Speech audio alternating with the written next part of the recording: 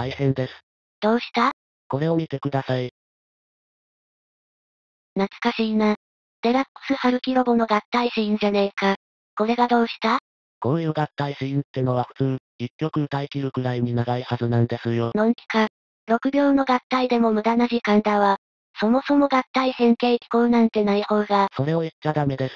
で、話が変わりますが、今回は鎮守です。話が変わりすぎだ。パンダとかカモノハシの特集ってことだな。それ鎮守です。冗談はさておき。あなたも冗談を言うのかよ。で、前々回、騎士は神殿の構成について動画を作ったから、きっとやるだろうとは思ってた。まるっとお見通しでしたか。では、鎮守の物語スタート。僕の名は鎮守。あざ名は少祖。西暦233年に生まれました。はっきりしないところですけどね。それは仕方あるまいよ。ちなみに鎮守についての記録は新書や歌謡国史に書かれています。そういえば、お前の本棚の肥やしにあったな。肥やしじゃねえわ。なお、西暦233年といえば、諸葛亮孔明が五上限で亡くなる1年前です。シセル孔明、生ける中達を走らすってやつです。さすが吉川英治の三国志世代。世代じゃねえわ。小学校の頃にばあちゃんの家にあったから読んだだけだわ。話を戻し、僕が生まれる5年前に、陳式または陳海という人物が馬謖の処刑に連座し、根刑に処せられていますが、これを僕の父とする説もあります。泣いて馬謖を切る。格言はいらねえよ。五家のアモウのくせに。うるせえわ。あ、言い忘れてました。僕は三国志の職出身です。劉備玄徳の国だな。この時代は息子の友禅が職官の皇帝です。後と呼ばれる人物か。アホとは失敬な。アホなんて言ってねえよ意味は同じだけど。で、僕は召集に指示し、歴史学とかを学びました。お、召集といえば、歴史家にして、超超超エリート官僚じゃねえか。はい。派生の陳氏って名門ですからね。舐めてもらっては困ります。僕は小書、春秋三伝、式、漢書なども読み漁りました。すげえな。ちなみに僕、新書ではこのように評されています。物事に対しては敏捷、学識は鋭敏、文章を作れば文才豊富、であると。新書って間違いが多いんだってな、この野郎。なお、死の召集は職の公主友禅の大使である友禅のお付きになったり、北伐推進派の脅威を諌めたりもしています。なるほど、気概のある人物というわけだな。一方で僕は、諸葛亮の息子である諸葛線の下で働いたり、宮中文庫の管理者である東漢秘書郎を務めたりもしています。さらには、公主友禅を堕落させたというあの宦官の高校にも逆らい、左遷させられたりもしています。またも新書の嘘だな。なんでだよ。お前、そんなに気概のあるやつだったかよ。すげえ言われようだわ。で、僕が31歳の時、運命の西暦263年がやってきます。食滅亡の年だな。そうです。で、気が食に進行します。と言っても、気の実験は創始ではなくすでに芝生が握っています。迫り来る義の紹介と当該。迎え撃つ職の脅威と諸葛線。まず当該が諸葛線を打ち破ります。諸葛線は諸葛亮の息子ですが、彼は実力以上の名声を得ていました。かつての上司に対して辛口だわ。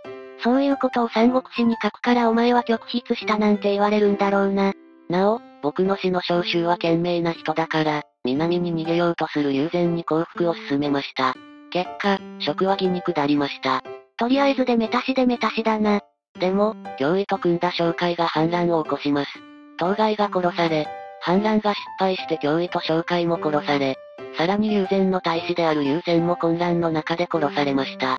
職の最後ってそんな感じだったのだな。で、僕の人物表は次の通りです。当該は強い意志力で功績を打ち立てましたが、災いを防ぐ配慮に欠けていました。紹介は大きな野心を抱き、災禍を顧みることなく事変を起こした結果、身を滅ぼしました。脅威は文武ともに優れていましたが、多年にわたり国力を無視した北伐を敢行し、職の衰亡を早めました。さすが歴史家目線。意外に妥当な評価かもな。意外にじゃねえわ。僕、歴史家としてかなり優秀な方だわ。それはともかく、職滅亡後、お前は義に使えることにしたのか？人生これからだから、それは大いに結構な話ですが、職滅亡の2年後の西暦265年に義は真に禅譲します。義も滅んでしまったわけだ。なので、僕がお仕えするのは真です。僕の死の召集は友禅に降伏を進めたこともあり、真から高く評価されていましたし、僕の兄弟子にあたる羅剣もまた、木に降伏後、呉から職を守ったので秦から高く評価されていました。ちなみに羅剣は職の時代に宦官の高校にこびなかったため、左遷させられています。新書だとお前ら一門はそういう扱いなのだな。で、この羅剣の推挙を受け、僕は秦にお仕えすることになります。西暦268年に推挙された僕は、西暦269年に死の召集のもとへ別れの挨拶に行きました。召集は自身の死を悟っており、翌年死ぬと言っていましたが、確かにその通りとなりました。また、羅剣も同じ年に亡くなりました。なお、陳樹は召集は未来を予測する術を得ていたのであろうと評しています。大げさだな。こういう主張を過大評価するあたり、良くも悪くも人間としての陳樹らしさなのかもしれません。なるほど。で、陳樹はその後、不完全だった職の歴史書を補うべく、駅武器宮殿や駅武器旧雑記を書き上げます。職出身の最優秀な歴史家としての真骨頂だな。そして、秦に仕えていた兄弟子の文律がこれを皇帝である芝園に献上します。芝園はこれを喜び、陳樹は左著作郎に任じられます。さらに諸活用集なども書き上げ、著作郎に任じられます。なお、文律は秦が合併合する1年前の西暦279年に亡くなっています。そして、西暦280年、秦が合併合して三国が統一されます。ついに陳樹が三国志を書き上げる時代に突入だな。こういう時代に歴史家に生まれて、陳樹も本望だと思います。で、僕は義語色三国志を書き上げました。いや、正確に言うと、この時代の資料をできる限り集め、それらをパッチワークし、この一大歴史書を完成させました。ちなみに僕は真の要人から高く評価されています。世渡り上手ってことか。いえいえ、僕は歴史家として誠実に仕事をやってるだけです。ほんとかよ。で、まずは破竹の勢いで合制圧したとよ。破竹の勢いということわざの語源になった人だな。この人、春秋差し伝マニアにして研究者としても有名ですが、同じ歴史マニアから高く評価されるということは、案外、陳樹の歴史家としての能力は高いのかもしれません。いい加減に僕の実力を認めやがれ。それから豊と同じくご征伐賛成派にして歴史家でもある長家。ご征伐賛成派ってなんだよ。芝園はご征伐を考えていたのですが、それに賛成していたのは豊や長家くらいでした。そういう状況だったんだ。そんな豊や長家から僕は認められ出世したんです。そう考えると確かにすげえやつだな。それから準局からも高く評価されていました。ちなみにこの人はご征伐反対派です。ということは長家と準局との間でトラブりそうだな。はい。そういうこともあって、僕、長家によって出世できたんですけど、後に準局によってシャントン省チン倒しに左遷させられてしまいました。悲劇だわ。もっとも母の埋葬なんかを理由にして赴任せず、落葉に僕はとどまったんですけど、お前、なんだかんだなかなかやるな。そりゃそうですよ。長家に認められた時に浙江省に赴任したことがありますが、こんな左遷での赴任なんてまっぴらごめんです。しかし、準局ってそういうことするやつなんだな。はい。芝居に将来を嘱望されていた芝園の弟の芝優もまた、彼の残言によって中央から遠ざけられました。穏やかじゃない話だわ。なお、後に準局は芝園の寵愛を失い、西暦289年に亡くなっています。では、ここからがお前の華やかな人生の始まりということか。でも、なかなかそうは問屋が下ろしませんでした。というと？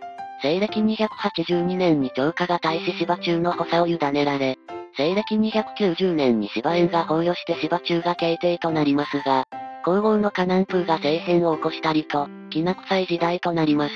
八王の乱の時代だな。はい。そして長家も西暦300年に非業の死を遂げます。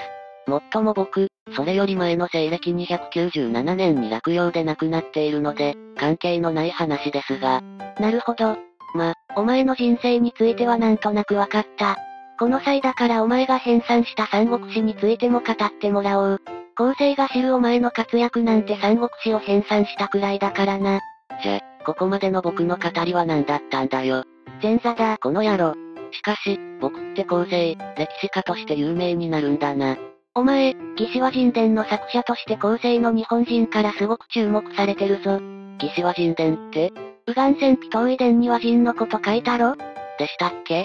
和人の後進である日本人が、うまくまとめきれていない上に曖昧な部分が多い文章だと文句を言ってるぞ。すげえ悪意のある評価だわ。和人上なんておまけのおまけじゃねえか。僕ってそんな使用抹殺で評価されてるのかよ。ところであの文章、お前の出世のために書いたんだろ？どう考えたらそうなるんだよ。まずお前、真を正当として歴史書を書いてるじゃねえか。それって真に鮎追奨したってことにならねえか？逆に真の歴史家で真を正当としない奴っているのかよ。言われればそうだな。言われなくてもそうだよ。ま、この時代、この社会において書けないことってのは当然ありますよ。なので、僕、わざと嘘を書くほど非常識人ではありませんが、書くことがはばかれる事実については書かない程度には確かに嘘つきです。でも、大人の社会なんだから言って良いことと悪いことがあるってのは理解できると思うのですが。まあな。そして僕は、三国をしっかり書くことで三国を統一した真の偉大さをちゃんと記述してます。なんでは尋常なんかを使ったまどろっこしいやり方で真に鮎追奨する必要があるのでしょうか。それもそうだな。それに僕、そんな適当なことを記述できる立場じゃありません。諸葛亮や諸葛戦について批評しただけで非難され、総否に処刑された長義の伝記を書かなかっただけで非難され、記述が気に食わないといった理由で準局によって左遷されかけ、そんな風に僕は簡単に足元を救われる立場ですよ。それに事実を書くことで鮎追奨できるのに、なんでわざわざ危険な嘘で鮎追奨する必要があるのでしょうか。確かにな。しかし、和人の末裔の日本人ってのは色々勘違いしているようですね。僕、あんな辺境のことなんてほとんど知りません。そもそも僕、義書とか語書とかを一から書いたわけではなく、すでにある資料を集めただけですよ。義書なんて最終的に王鎮がまとめたものがありますし、旅館なんかも義書を要約して義訳を書いてます。だったな。そういや、義書を書いてたか高丹はお前の三国志を見て自身の義書を破り捨てたらしいな。あれはなんでだ？先行する義書とか引用元が一緒なら大して変わらんだろうに。だからじゃないですか内容が違ってたら価値がありますが、内容がダブってたら捨てざるを得ないでしょう。ましてや僕の方は義書だけでなく三国志ですから、情報量も上です。お前の偉大さは、義書、職書、五書すべて書いたことなのかもしれないな。ただ、そのために嫌われた気もします。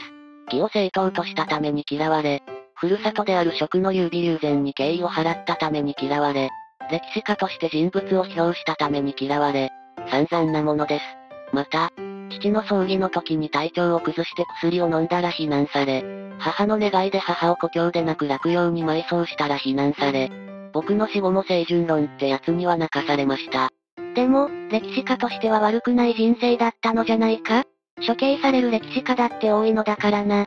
ま、そうかもしれません。そういえば、長家は僕に新書も担当させたいと言ってました。すげえ期待されてたんじゃねえか。一方で慶帝は僕を高く評価しつつも、長期にわたって職務を兼任させるべきではないと言ったそうです。あれってどういう意味だったんでしょうね。さあな。清掃に巻き込みたくないってのがあったのかもしれないな。ほんとかよ。ただ、米がなければ肉を食えばいいといった工程だけど。当てになんねえな。ってな感じで鎮守について語ってみました。なお、鎮守の死後、藩君が慶帝に進言し、鎮守の家にあった三国志を書き写させます。では、最後に、藩君が鎮守の三国志の再録を慶帝にお願いするセリフを紹介して動画を終わりたいと思います。彼の文言には感慨が多く、特質を明らかにしており、風化に役立つでしょう。文章の華やかさは芝僧女に及びませんが、質実で正確なことは芝僧女を超えます。どうか再録をお許しください。常識程度の忖度しかしない鎮守像はいかがでしたでしょうか？定説の忖度陰謀説の鎮守から離れ、こういう視点で見てみるのも面白いのではないでしょうか。なお、後に廃将士が三国志の足りない部分を補ってくれています。鎮守に誤りがあるとすればそのあたりの気がします。なので、廃将士もスルーしている部分は、現代人である我々の思い込みか、どうでも良い話なのだと思います。すげえ解釈だわ。それほどでも。褒めてない。ではでは。